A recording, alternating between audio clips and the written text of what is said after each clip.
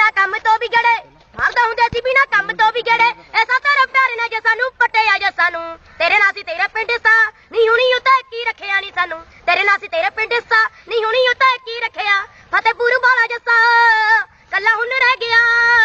ਛੁੱਟ ਕੇ ਨਸੀਬਾਂ ਉੱਤੇ। ਹਾਏ ਜੇ ਚੁੱਪ ਚਾਪ ਬਹਿ ਗਿਆ। ਤੁਰਿਆ ਨਾ ਜਾਵੇ ਪਿੱਛੇ ਮੁੜਿਆ ਨਾ ਜਾਵੇ।